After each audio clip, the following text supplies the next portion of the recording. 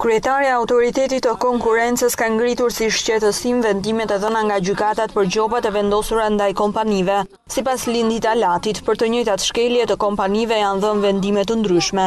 Gjobat e vendosura nga Autoriteti i Konkurrencës janë vjel vetëm njëzet e pesë për qind të shumës totale. Në gjithë eksperiencën dhjetëvjeçare, Autoriteti i Konkurrencës ka vendosur një pikë katër miliardë lekë gjoba. Janë vjel vetëm njëzet e pesë për qind e tyre, ndërsa ne kemi procese gjyqësore, që për të njëjtin vendim, për dy firma fitohet gjyqi e për një firmë humbet gjyqi. Ndërkohë që disa nga tregjet që kanë probleme me konkurrencën sipas Latit, janë karburantet, tregu i gazit dhe i energjisë elektrike. Tregu i energjisë elektrike, blerja e energjisë elektrike për të mbuluar humbjet nga OSHEE-ja, njëkohësisht është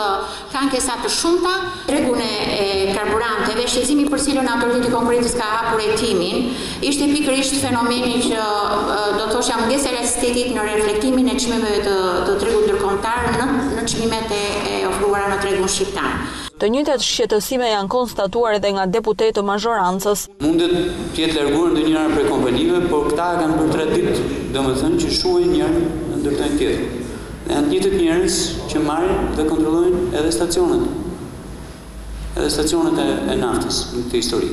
Autoriteti i Konkurrencës ka prezantuar në Komisionin e Ekonomisë veprimtarinë e këtij institucioni gjatë dy mijë e katërmbëdhjetës, si dhe i është përgjigjur deputetëve në lidhje me shqetësimet e ngritura.